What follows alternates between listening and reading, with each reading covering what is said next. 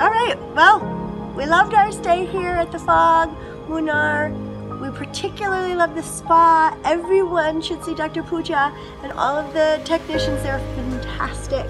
And the staff here has been lovely. The food is phenomenal. Food's very good. You will not be disappointed. Breakfast, lunch, and dinner, delicious. and the staff is just very accommodating. All the outings were great.